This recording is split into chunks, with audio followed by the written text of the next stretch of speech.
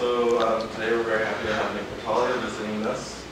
Uh, Nick was a graduate student here working with Dick on uh, galaxy clusters, feedback, and other topics in cosmology, even up to Carnegie Mellon uh, as a postdoc, and now he's a Lyman Spitzer Fellow at Princeton. He's going to tell us about providing constraining halo energies using SZ. Right. Thank you, Marcelo, for the introduction. Um, so I just just put this together, uh, at least some of it, about half of it. So bear with the typos. Um, right. I thought I'd go a little bit uh, further afield for myself, uh, move away a little bit from cosmology, get into some more astrophysics. Uh, but there is still cosmology in this talk, so uh, I couldn't stray too far. Right. So um, just to, to, give you an idea of what I'm going to talk about, um, it's mostly in the realm of galaxy formation. And so uh, what we generally do is, well, galaxy, galaxy formation is a very tricky problem, but we have a nice set of initial conditions, and we try and go from this nice set of initial conditions here to uh, creating things that look like, say, Andromeda or galaxy clusters in our universe. So this is, this is the problem. Uh, now, you can't do this uh, with uh, you know, pen and paper. You actually have to simulate because this problem is highly nonlinear. Right? These structures are very, very nonlinear. Um, so that leads us naturally to uh, simulations, which has become a big, big industry in galaxy formation. To give you, uh, this slide is meant to give you an idea of the you know, various consortiums of several people in each consortium working on these simulations that take up uh, hundreds of millions of CPU hours on national machines, and it costs a lot of money. Uh, so, you know, there's this, the Illustris simulation, which is a large cosmological box, well, for galaxy formation, 100 megaparsecs. This is the, the FIRE group here that does more uh, zoomed in simulations of individual halos. And there's also the Eagle simulation, which is sort of, it's a different code than this, but you know, on the same scale and size and resolution. Uh, and these, uh, these consortiums have sort of said, hey, look, we can start making things in our simulations that look like what we observe out there in the real universe. Um, which is, uh, which is a huge step forward from, I think, uh, where things were 10 years ago.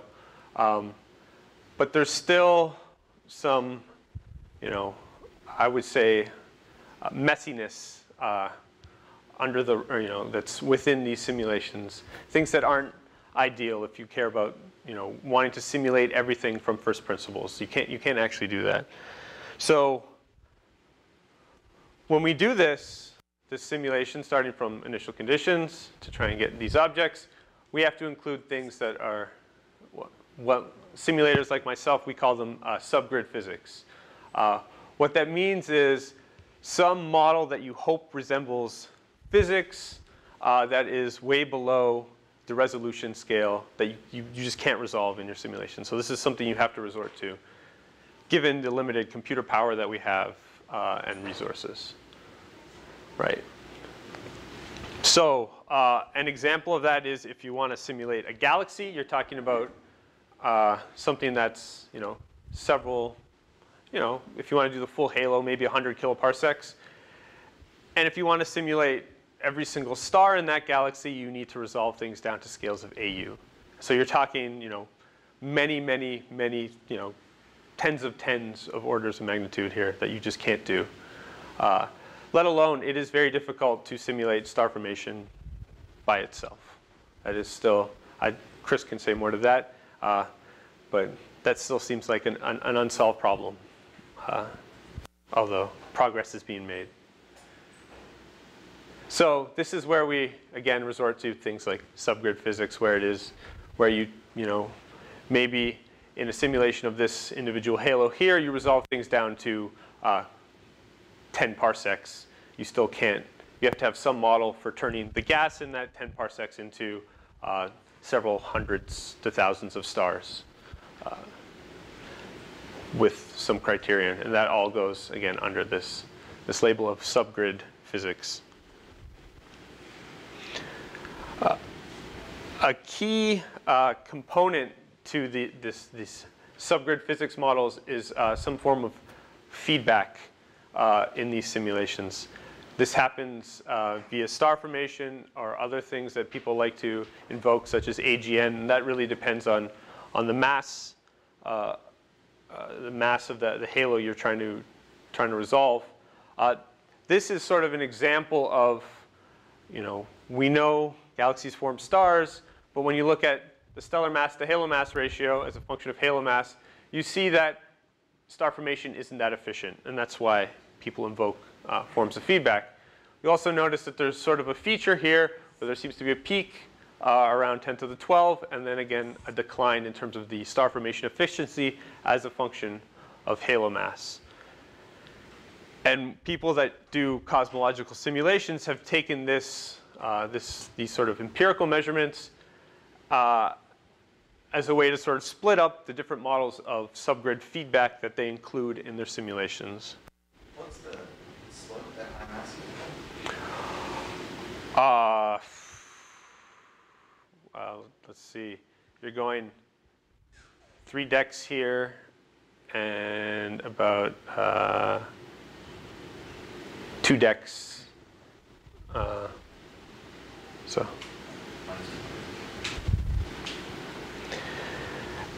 And so the way people have uh, split it up is they say the low mass end, this is all some form of stellar feedback. This is, you know, I'm doing, this is very, very general here. Uh, at the high mass end, there's something that they like to, or they have to invoke, which they call AGN feedback. Right. So these are sort of the subgrid models that, that people put in to sort of get these various star formation efficiencies. Yeah. At the massive end, if you have, if it's a large cluster with a bunch of galaxies, is this all the stars and all the galaxies, or just the central one? Uh, I think this is this is central, but even if you add sort of ICL, I mean the, the BCGs really dominate the, the stellar stellar component. Okay. Even if there's hundreds of other galaxies in the cluster? Yeah, I mean they're not all. So you know, BCG.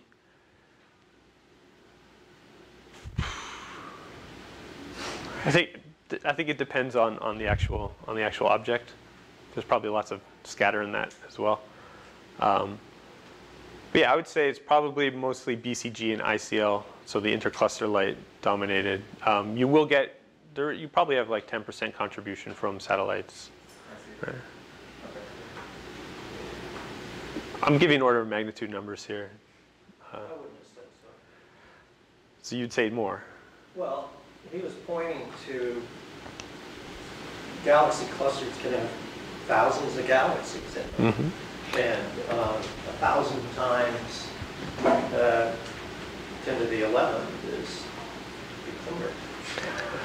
But yeah, but a thousand times 10 to the 11 is a 10 to the 14 in stellar mass, which means you have a 10 to the 16.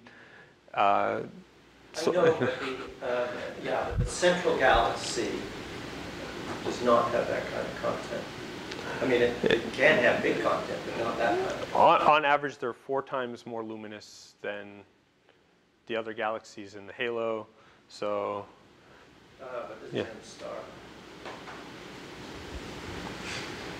Anyway, I would have just said.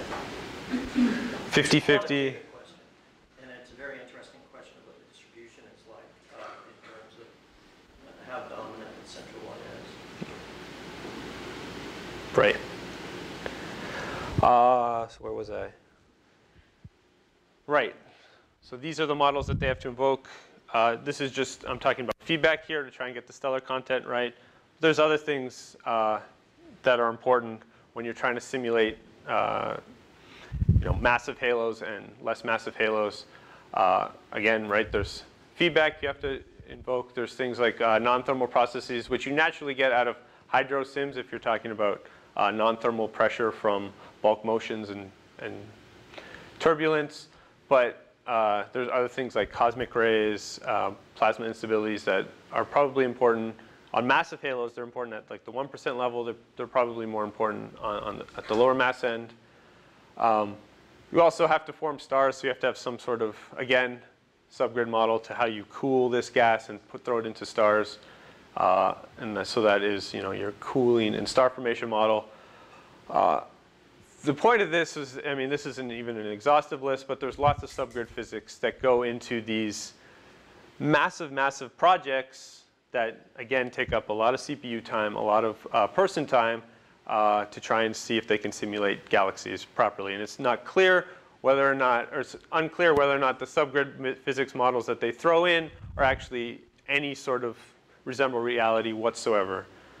Um, Can can you explain just a little bit, I just wanted to go back to the previous, uh, you know, familiar thought of the star formation frequency versus halo mass. Obviously, in the galaxy cluster, you add up all the baryons in gas stars in the constituent galaxies. That's largely dependent on the speed of the, of the, of the uh, halo mass, right? uh, it's about a percent.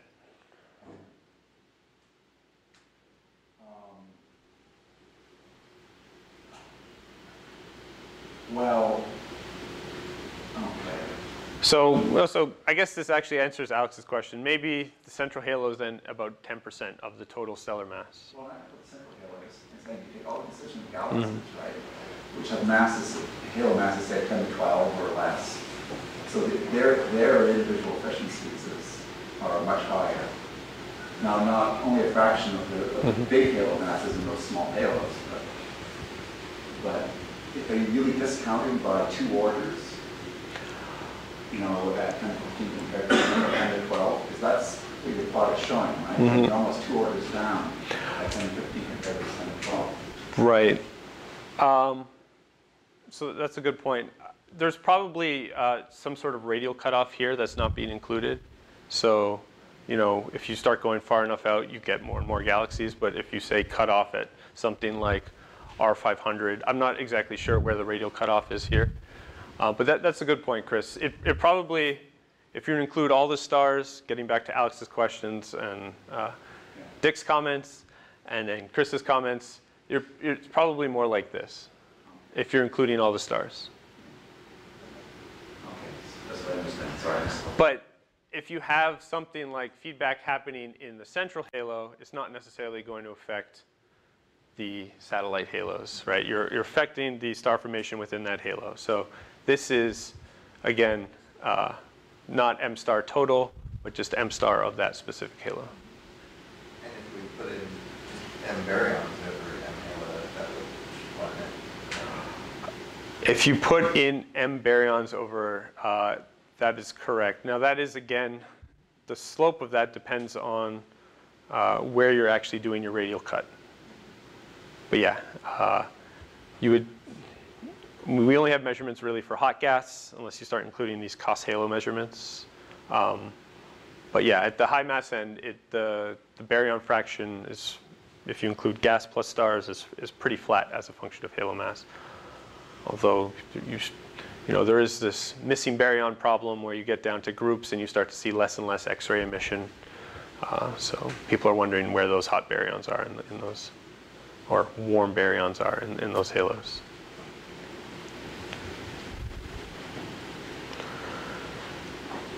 Right.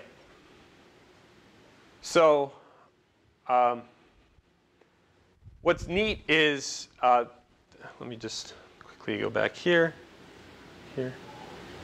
These simulations mainly focus on the stellar content, uh, which is fine. So they're trying to produce spiral arms and things that you know we observe with in, in the optical, uh, you know, there's your spiral arms. They're trying to produce ellipticals, irregulars, et cetera, et cetera.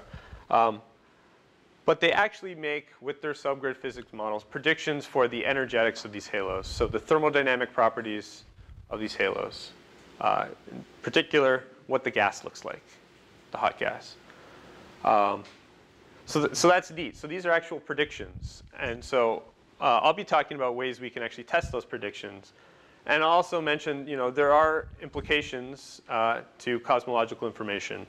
Uh, I'll just, just, this is just meant to summarize them here. But, you know, as we push uh, the power spectrum that we're trying to measure to uh, smaller and smaller scales, we go into the nonlinear regime, and we also start to worry about these baryonic effects from gas uh, and stars on, on the power spectrum that we are going to measure. And this could potentially bias uh, the results by, by a lot. This is one example uh, from uh, Semboloni et al. They were looking specifically at weak lensing, uh, where they're really trying to push uh, to, to higher, higher Ks. These are just, uh, black is dark matter only, green is uh, some reference simulation, which has uh, star formation and star formation feedback. Blue is they've changed the, uh, the amount of stars, the IMF that they produce at the high mass end. And uh, blue here, sorry, pink is, is that, and blue is when they've included AGN. Uh, so it's basically the reference with some AGN included. And you can see, uh, given these different subgrid models, uh, you're looking at parameters like sigma 8, omega m, uh, w naught. You can see how you just vary your parameters. These are uh, 1 sigma, 2 sigma, and 3 sigma contours. Uh, this is just using, this is, this is a Fisher calculation. Um, but given these uh, P of Ks here that they were modeling. So you can see if you don't have the right model uh, for your subgrid physics, you can't really make a prediction for you know, what cosmological parameters you're going to infer from these measurements. So th this is an issue. Well, so that, that is um, part of what I'm going to do. Uh, in principle, you can try and constrain the subgrid models and then use that to infer cosmological parameters. Uh, right. So how am I going to do that? Well, I'm going to use the uh, cosmic microwave background, which I don't need to explain what it is, um, as, a, as a backlight. Uh, so although when we, most of the pictures we see uh, of the, the CMB uh, look like this, uh, this is because um, some artists on the Planck team have done something with the scale and they've sort of, they wanted to accentuate the fluctuations. In actual fact, it looks a lot like this. Uh, and so what I'm going to do is use the CMB as a, as a backlight and look at the stuff in front of the CMB. Right? And there's lots of stuff in front of the CMB, right? This was emitted way back at redshift 1100.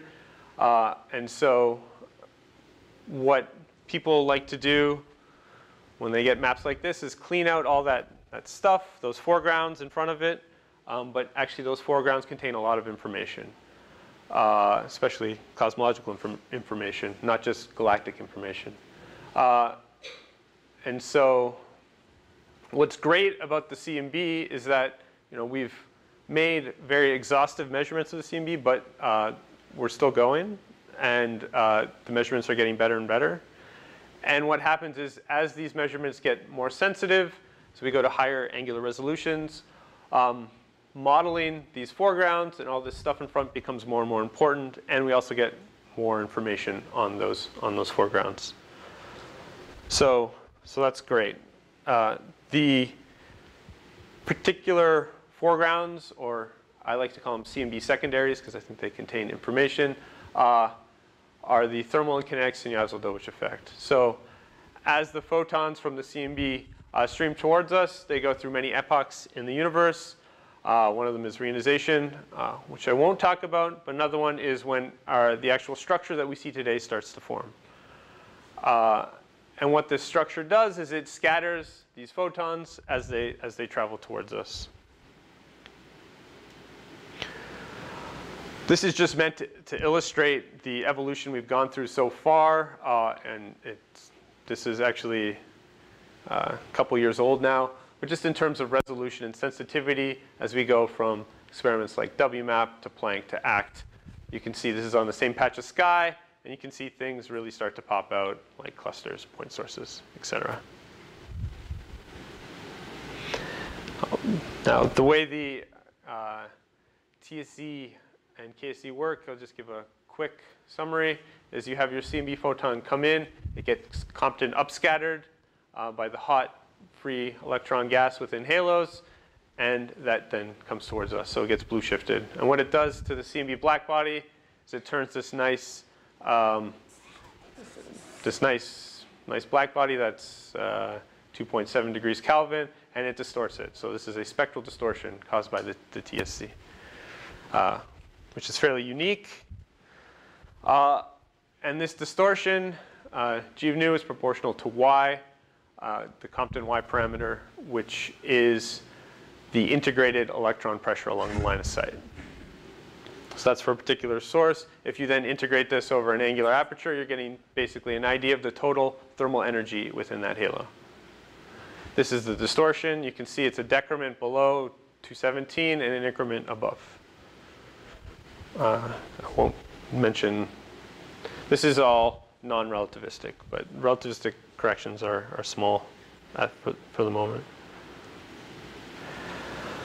Um, then there's the kinetic Sunyaev-Zel'dovich, which is Doppler boosting of those CMB photons. So if this uh, hot electron, or this hot gas here, ionized gas, has some uh, peculiar motion with respect to the CMB rest frame, then you Doppler boost those CMB photons, depending on whether or not it's moving towards us or away from us, and you see a temperature shift according to that peculiar velocity. So here you're, you're measuring the integrated line of sight momentum right? So this is uh, density times line of sight velocity. And these, uh, these particular effects have been seen in, in abundance now. Uh, KSZ more recently than TSZ. This is just a, a, gallery to illustrate the many ways we've measured the, the TSZ on individual halos. Uh, this, this is a stacking measurement uh, done by Planck and then a smaller group at Princeton where we looked at stacking as a function of stellar mass. And this is the integrated Compton Y you get within a cylinder as a function of stellar mass. You see there's a nice almost power law-like uh, trend here as you go to lower and lower stellar mass. You still see that there is some form of hot ionized gas within these halos as you get even down to 10 to 11 solar masses.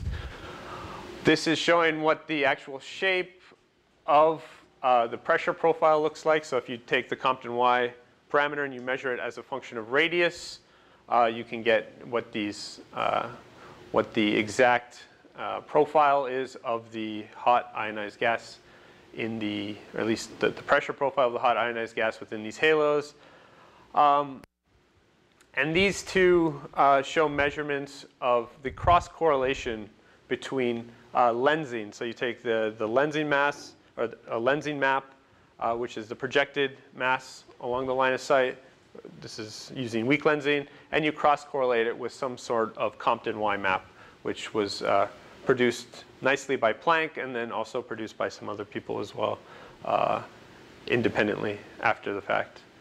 And this gives you an idea of the uh, convolution of the total matter profile and the uh, gas pressure profile. And that tells you, again, interesting things about uh, the halo energetics, which I will get to in a second.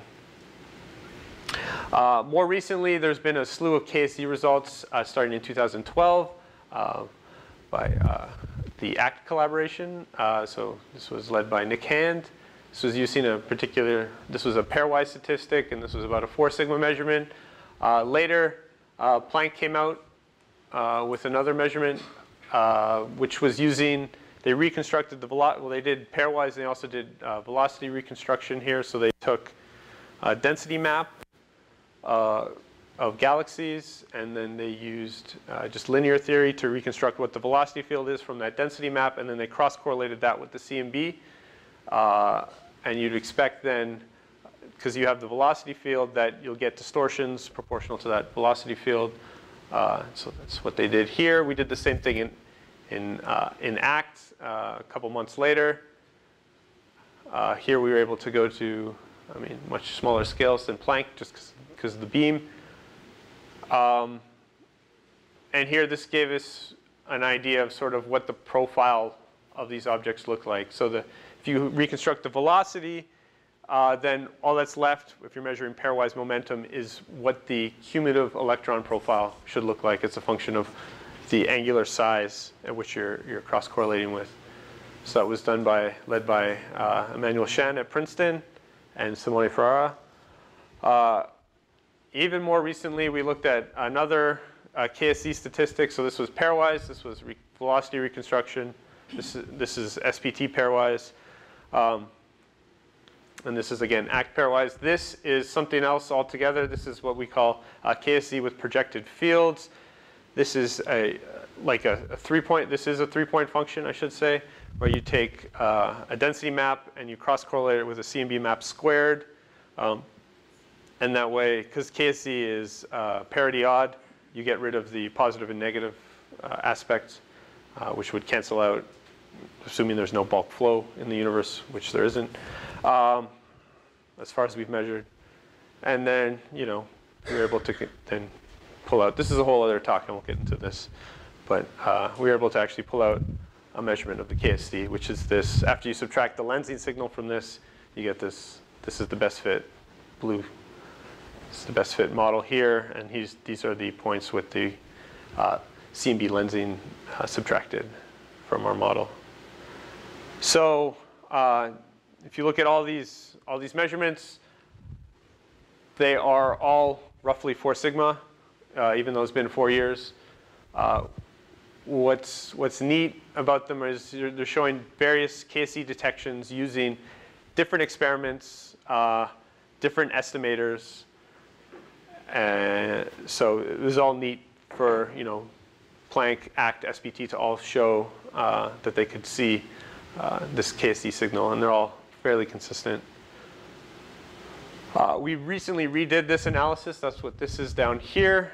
Uh, and what's neat about this is we actually went really into detail about how we calculated the error bars, and said maybe we underestimated the error bars a little bit here. So maybe you know, we have improved in signal to noise in the past four years. Um, but what's really exciting is this is just the tip of the iceberg. Um, we are going to uh,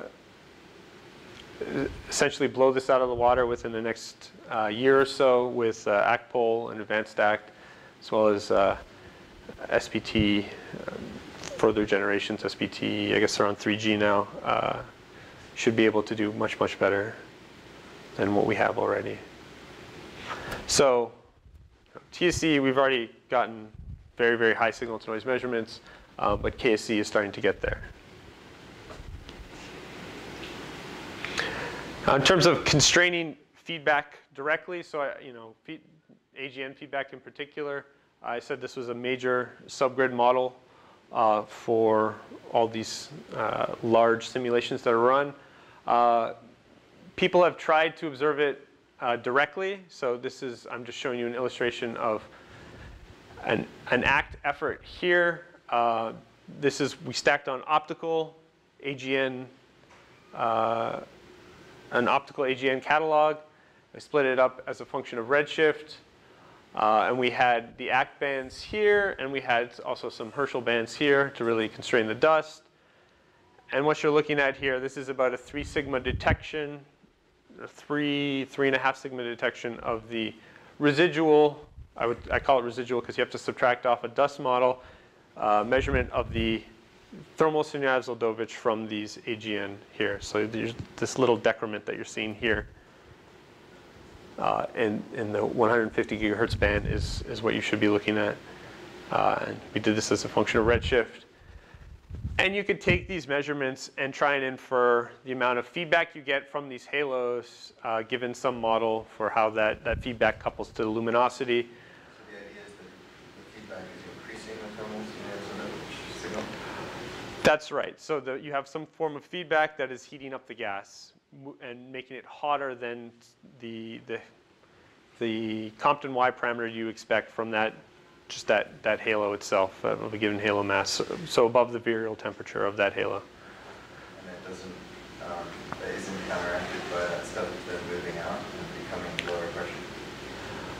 Right. So, you know, it, it really depends on how, how you're doing the feedback. If you're just heating it up in place, if you're doing any, any work, like actual uh, pushing on the gas, Um, there's also, you know, when you, when, you, when you make a statement like this, you have to have some model for what the mass of these halos are, right? To say you've seen uh, thermal Sunyaev-Zel'dovich in excess of what you'd expect for these objects.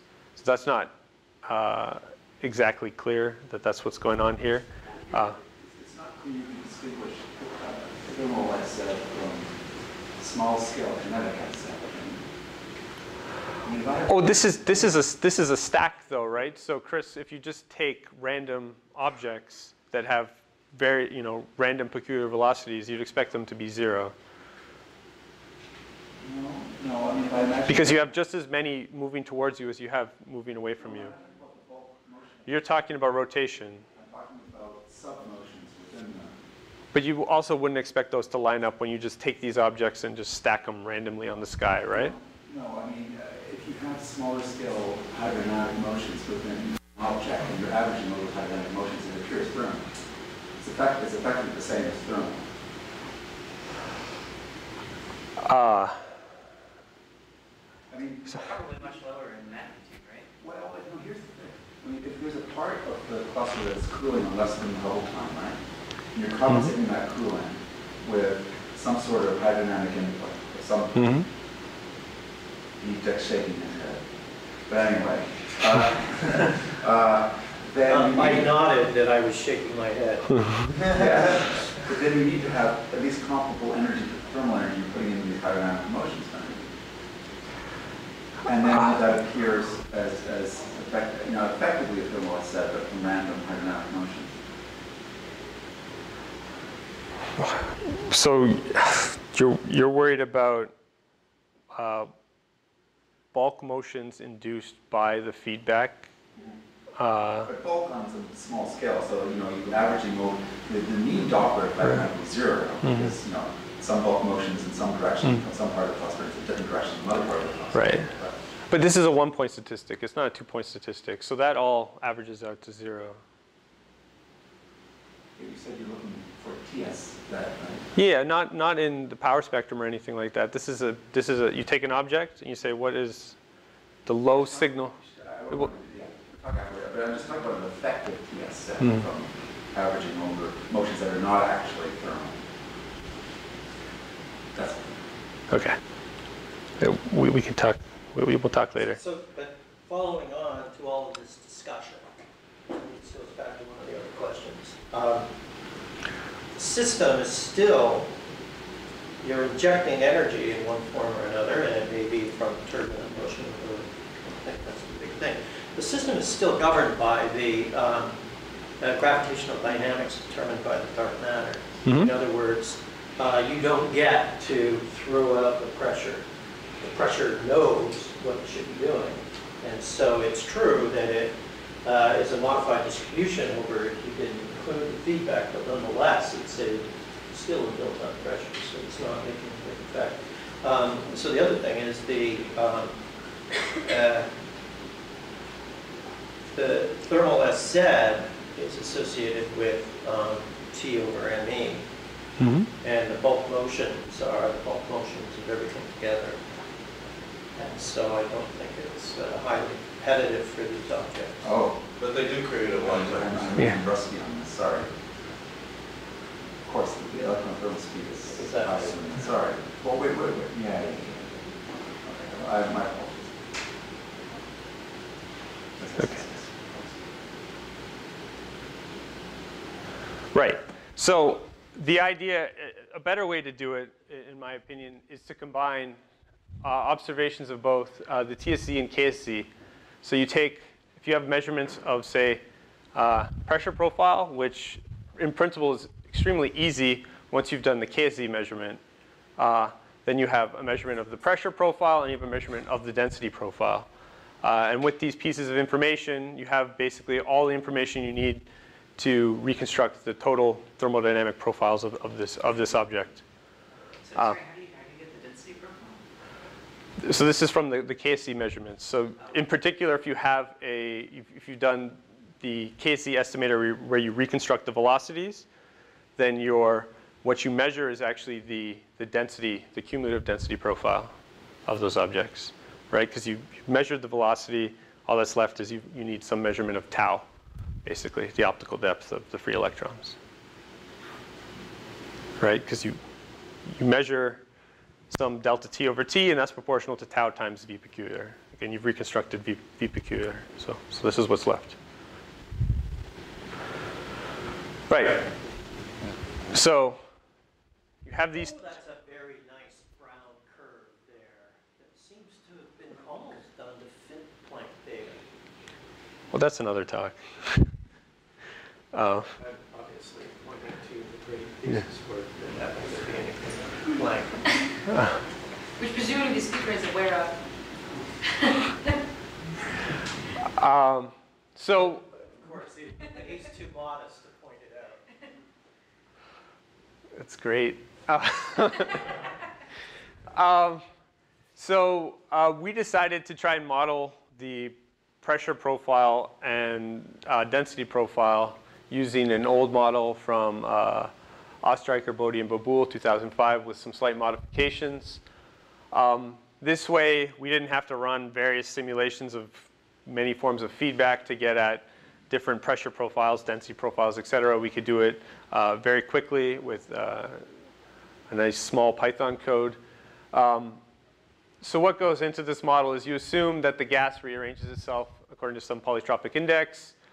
Um, we throw in some non-thermal pressure support because we know that there is uh, such a thing uh, in clusters and in all sorts of halos. And then you also have uh, some model for how the energy is injected, some energy injection efficiency. Sorry, this should be epsilon.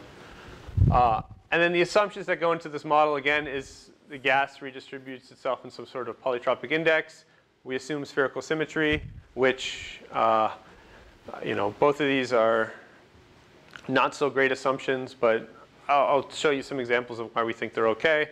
Um, we also, the assumption is it's in hydrostatic equilibrium, not with the thermal pressure though, with the total pressure, because we, again, as I said, we know that there's uh, non-thermal motions, or at least bulk motions that contribute at least 10% to the total uh, pressure in these objects. Uh, and then you just match uh, some initial conditions. You know, you say that the energy, the final energy has to be uh, equal to the initial energy plus whatever energy you've injected, plus whatever additional work you've done to the system, whether it's expanded or contracted. And you also set up the boundary condition that the total pressure has to equal the, the surface pressure at the virial radius. Uh, and you also conserve mass. And with these assumptions and these conditions, you can solve for the thermal pressure and the, uh, the gas density, and then turn these into observables like TSZ and KSZ profile. Why aren't you matching the pressure to the same radius as an RF and an RV? Because you allow the gas to actually move. Because you're doing work on it, you're adding, uh, you're doing, you're throwing in some heat, so the, act, the actual gas actually redistributes itself. Also, um, right, this is surface pressure at our virial, assuming an NFW profile. So sorry, going back to uh, Wisconsin's thing. So if it, if you have 10 percent in random motion, electrons moving around, that's ten percent additional Y distortion under the thermal pressure. It's, it's not random, it's, it's, it's, it's bulk. No, there is an effect, it's just that the It's down delta by V M, is Yeah. it's down by M over MP, right? Yeah. Right. Uh, I know. right, the square root, But, but that also That's- suppresses Well, the the thermal. Y effect, effect is down by M over MP. You average over. If, it- if. Yes, yes, yes, that's right, that's right. Right. I mean, Got one, it. Can we have one just at a time, just so that I can? Okay. I'm following three. Sorry, Chris, you were? Kinetic, that's, that is first order views, Mhm. right? That's essentially what you're measuring, not second order. That's right. Right. That's the So- You have to drag the proton Yeah. to. Yeah, no, I'm only talking about first order effects here. Right. Um, so, uh, getting back to, I mean, remember, four sigma measurements of KSZ. We're not, we can't start worrying about second order effects.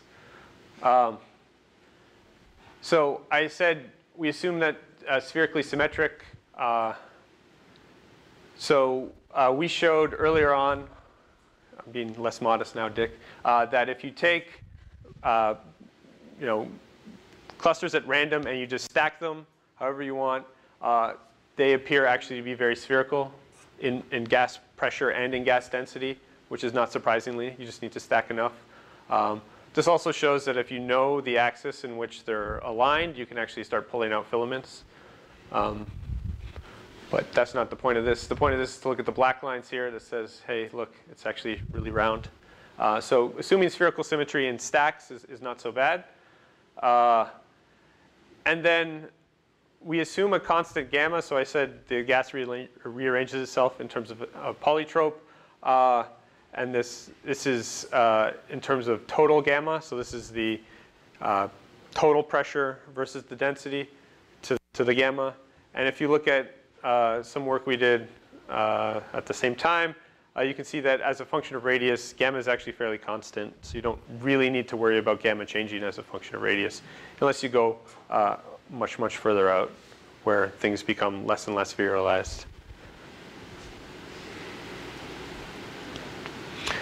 So uh, given that model um, and given measurements of P thermal and rho, you can then start to extract these three parameters of our model. There's only three. Uh, gamma, which isn't really that exciting. Alpha, which tells you about the amplitude of non-thermal pressure in the system. And uh, again, this should be ep epsilon inject, so the uh, efficiency of energy injection in these, in these halos, uh, which is nice. So we went ahead and did a forecast for uh, advanced ACT like noise uh, plus BOSS. Uh, and this is roughly 25 square degrees using uh, 125,000 galaxies to reconstruct the velocities in, in, in, this, in this region. Uh, and we use the actual measured um, covariance matrix from Emmanuel, uh, Emmanuel Schaan's work. And we did some estimate for how well we can measure the, the given uh, the advanced ACT uh, frequency bands and sensitivity estimates. Um, so these are your, your Fisher uh, ellipses here. Uh, alpha, again, non-thermal pressure, uh, energy injection efficiency, how well you can constrain this constant gamma, uh, which is ridiculously high. Um, these are, there's no units here because this is percentage, so error percentage. So, you know, this is 10%. Here we're measuring the energy injection to 2%, which is really nice. Um, the different so the inner ellipses are one sigma, outer ellipses are two sigma. The different uh, line styles here, one show the total, if you're using KSZ and TSZ. Uh, one could say, well, maybe you're only getting these constraints from the TSZ. So the TSZ alone are shown in, uh, in, the, in the dashed lines, which means you are actually, we're actually gaining information from the KSZ, which is nice. The KSZ is adding to this, this constraint. Um, and the constraints are, you know, this is, this is pretty modest with advanced ACT 25, 2500 square degrees. You're getting, you know, 10% constraints on the, the non-thermal pressure that's in these systems and a 2% constraint on the energy injection in these systems. Granted, they are, you know, this is a model, but it's still, it's still fairly neat that you can actually, you can actually go ahead and do this. Um, Is there a characteristic redshift for that epsilon inject? uh, Um, In the model anyway? So these, the model, yeah, you can put in uh, redshift dependence. Right now, we're just modeling it at the BOSS redshift. So we only did one redshift bin, but in principle, you can do uh, epsilon of, of z if you wanted to. You can vary it as a function of redshift. Right now, it's held constant. Because we only have one sample, and I mean, yeah, I mean, I guess we're seeing it to 2%, so we can start thinking about, and we will start thinking about, uh, you know, as if you increase the survey area, this is going to get nicer. Uh, so we increase the sensitivity, this is also going to get better. So this is something we are actively working on. This is again very preliminary. But you can you can add more bells and whistles to this model. You can add uh, the redshift. There is a redshift dependence on on alpha, which helps break the degeneracy between these two. Uh, sorry, here. But uh, right now there, and that's that's fixed, but that's something else we can open up in the model as well. Right now, no, this is just some, it's like 2 times 10 to the minus 5 is the, the actual value for epsilon. That's our fiducial value, which is some function of basically m star times epsilon times d squared.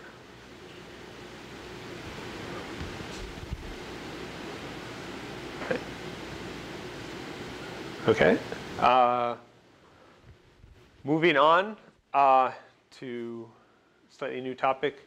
You can also, so well, just going back uh, before moving on. This is great because this is actually saying, you know, within the next year or so, we could actually place constraints on things like how much energy is injected or can be injected in these subgrid models. Uh, how much non-thermal pressure do we expect in, in these halos? Things like that. And so, you know, these are numbers that, in principle, the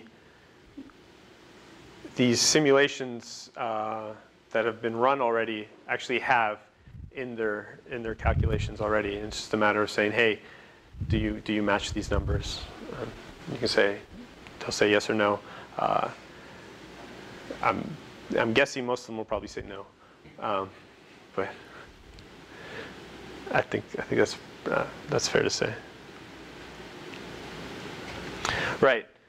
Uh, moving on, there's been uh, a huge hope of using KSZ to actually constrain cosmology. Uh, I'm showing you just an example using the, this pairwise velocity estimator.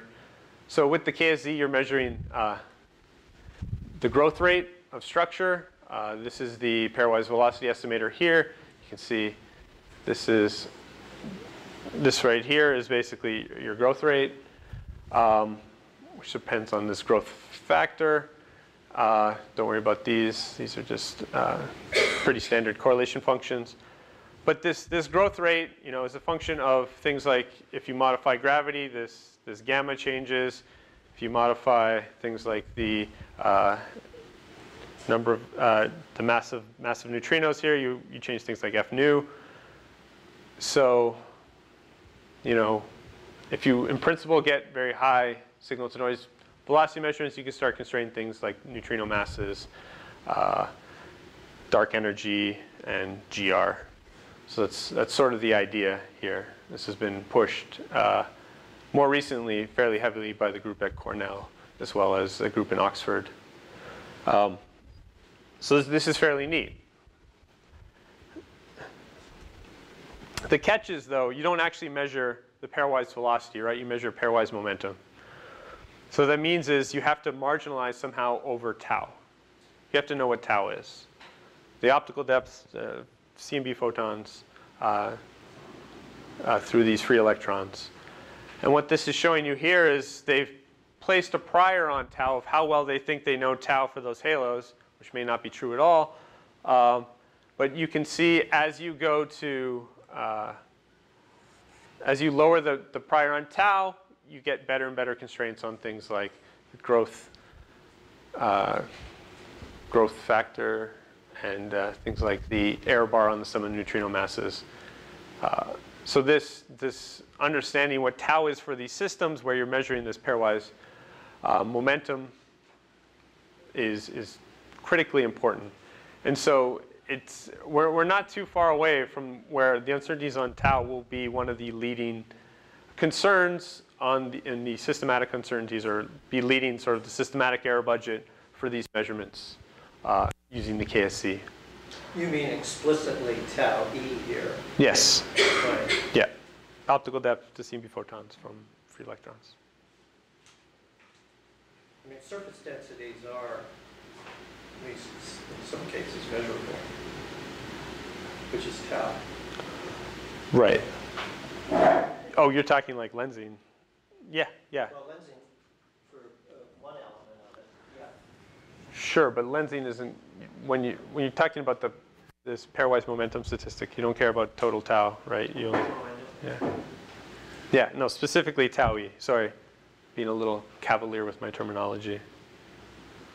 Um, but I guess you were objecting to this. How does one directly measure tau? Uh, there are ways to get tau from individual objects. Um, uh, so you can use X-ray measurements. Um, unfortunately, uh, with, with X-ray measurements, you are limited to bright objects, nearby objects. It's hard to get It has not been done, as far as I know, to get uh, X-ray measurements of, say, things that are similar masses to the uh, BOSS sample, the CMASS sample. So we don't understand what the optical depth is for those. And fortunately for this, unfortunately for these pairwise statistics, you have to push down to much lower masses because you need uh, lots of, you need many pairs in order to beat down the signal to noise. So when I say it's not a direct, that's why direct's in quotes. I mean, you can, you know, maybe with future X-ray telescopes, maybe eROSITA will be able to do push this a little further, but it's really difficult to measure basically the gas density, the projected gas density in these halos uh, directly. So, um, sticking with with the theme, uh, what I went and did was looked at a possible solution to this, an empirical solution. So I went into uh, the simulations that I have and looked at relation, uh, relationship between uh, the average Compton Y parameter observed in an aperture and the average tau observed in that same aperture. Uh, and just plotted it up. And sure enough, there was a nice tight relation, uh, which is not that surprising. Uh, this should say relation. Um, you can ignore this, this, this these, these green points uh, don't actually resemble anything to do with reality. Um, so these are two, the, the, the red and blue points are two different uh, simulations with two very different subgrid physics models, uh, one with, one without AGN feedback. And you can see over this range in, in Y parameters here, uh, you actually get a very nice tight relation that actually is fairly independent of the uh, physics that you've simulated, which is, which is really nice. Uh, so this means that in principle, if you measure Y within an aperture, you can infer what tau is for that same aperture uh, with, with some scatter, but it's, it's, you know, if you're doing a stack, you know, that's where you win with the mean value theorem. So, so this was, this was actually really nice, uh, really neat. And it's basically saying, why it's not that surprising, it's basically saying that at fixed gas mass, the temperature fluctuations are small. So, so that's not too surprising, at least in, in the massive systems that I looked at. Uh, these, these apertures that I chose uh, were, at least for these plots, um, meant to resemble ACT, so the ACT beam, uh, just because, because I'm part of ACT. So I thought it would be novel to check out those particular aperture sizes. But in principle, you can vary uh, the aperture size, and it doesn't actually do that much. Changes a little bit, but, but not too much. Uh, another obvious thing to look at is to see how well the average tau in, in an aperture traces the, the halo mass. So you'd say, you know, galaxy clusters, or at least massive halos, are closed systems. Therefore, you'd expect the total number of uh, baryons that you project along the sight, along a line of sight within an aperture, to be somewhat proportional to the halo mass. Uh, that is true, although uh, the scatter in this relationship is much larger than the scatter in this relationship, uh, which isn't that surprising. This is something that we see uh, in just in general in, cosmo in, in cosmological hydrodynamic simulations. Uh, and also when you change the subgrid physics model, uh, there's much more, there's a larger dependence on, on the actual subgrid physics model here, whether or not you're, you have AGN or not, because that really impacts on how much a gas you lock up in stars, et cetera, et cetera. So, you know, this isn't a, a full solution. If you marginalize over just the uncertainties in the in the subgrid models here, you get about a, you can reduce it to about a 5% level. So you're, you can, you know, measurements are li then limited to, you know, uncertainties in tau at the 5% level. Be nice to push down to the 1% level, but uh, we're not there yet. Now this is all done, uh, again, with simulations. Uh, it might be possible in, in, the near future to actually constrain this with uh, observations. Uh, this is something been talking with, with Alex and Vera and Kendrick about, um, looking at ways to sort of estimate the uh, the normalization of this this relation here with uh, using cross correlations and the a, a patchy tau estimator that uh, Kendrick and Cora developed a couple years ago. So that, that would be neat. Um, we're still working on that, but that's, that's work in progress. So this was a nice, uh, nice possible workaround. And why, why I find this, or at least uh, measurements like this, interesting is because, as I said, uh, CMB measurements are getting better. There's lots of funding uh, to fund these next generation instruments.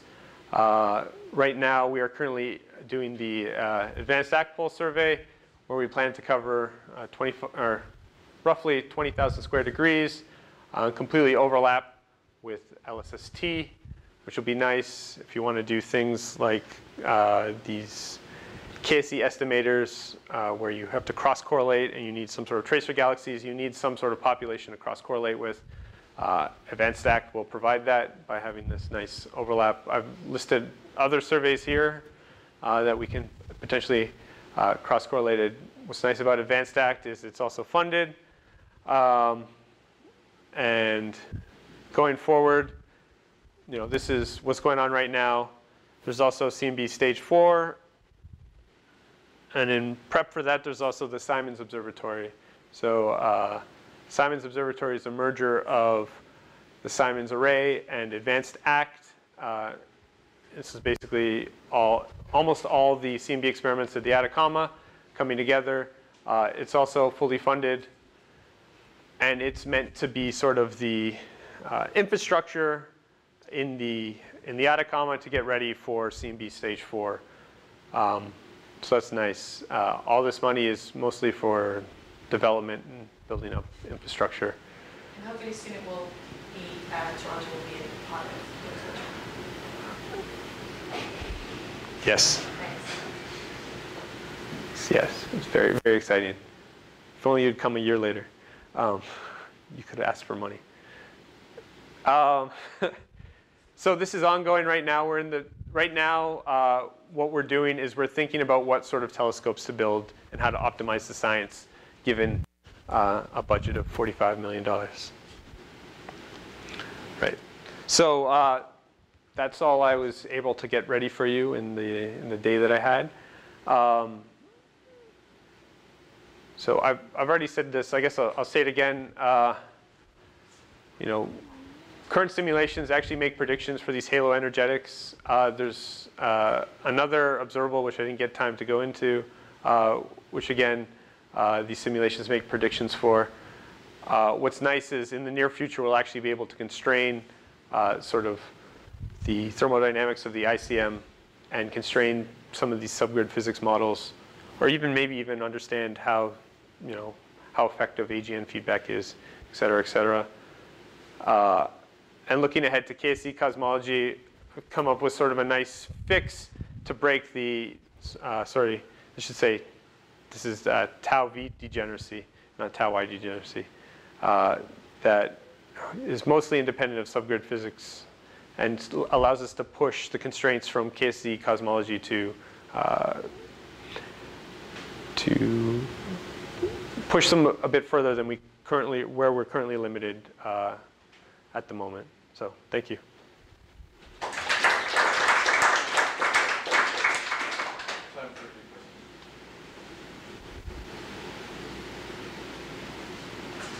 Can you go back to this, the coverage slide with Advanced ACT? Yeah, so LSST is that whole region, and then there's DESI, which is less, right? So I was wondering, um, for the KSZ stuff, do you, would you prefer to, what do you think about spectroscopic versus photometric redshifts? Which of those Right. things would be more useful? Like if you have DESI on less sky, but spectroscopic redshifts? Um, compared to LSST? for for us, I think for the stuff that I'm interested in personally, you care about the small scales, and when you use a photometric survey, you really wash out the small scales um, because of you you naturally have some sort of smoothing scale in there that's a function of the redshift uncertainty of your of your objects. Okay. Uh, so spectroscopic is better uh, for for the stuff I care about. Uh, So this overlap with DESI is, is really great also, I guess. that that is critical. Yeah, I mean, but DESI also pushes much further up. Oh, I see. Yeah, this isn't, this is just the DESI footprint in our, in our region. But again, it's much more than 2,500 square degrees, which is what the forecast I showed, which is the forecast I showed. It's, this is much more, right? So uh, 2,500 square degrees is like this little patch here, and then maybe some of this patch here. So it'll be another factor of two improvement on that, just with sheer number of galaxies alone.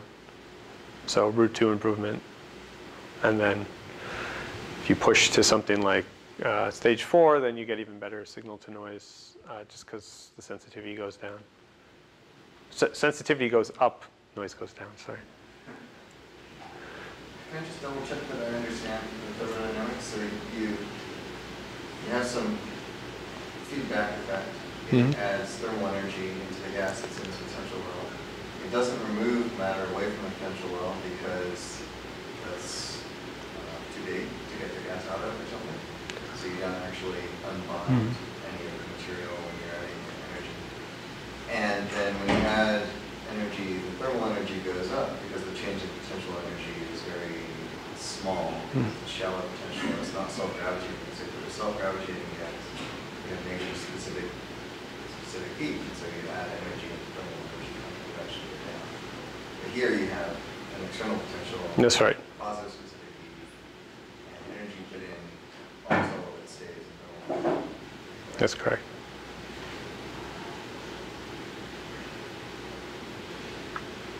What is GAMA and HSCY? Uh, sure. So HSC stands for, I- it's not very highly publicized. Um, HSC is the Hyper Supreme Cam uh, survey. This is on the Subaru telescope. Uh, it's basically uh, a Japanese-led experiment with Princeton involvement. Uh, it's about 1,400 square degrees is HSC. Uh, you're pushing to magnitudes of 27. So the optical astronomers, that number means something to them. Uh, uh, for its, its, uh, um, one of its main goals is to do weak lensing. So the, the idea here with HSC is we get to roughly 20, degree, 20 galaxies where we can measure shapes accurately enough to do weak lensing within an, a square arc minute. That's what HSC is. Uh, the GAMA field is a, I, I think this is a very famous uh, field that has many pointings of various uh, wavelengths. It's meant to do galaxy formation, and I don't know where the name comes. It's some acronym that, Yeah. masses at some point. yeah. Do, do you want to say, gal- Dick guessed it's galaxy assembly mass something. Assembly, I think. Yeah. Something like that, The G is Yeah. galaxies. Uh, the Extended Groth Strip. Uh, I'm not sure. Do you know the RA or Dec of the Extended Groth Strip? Okay. Uh, It's not like GAMA results are in the can. It's not Yeah. something one's waiting on. Just like KiDS has expanded a lot um, recently. So, that's right.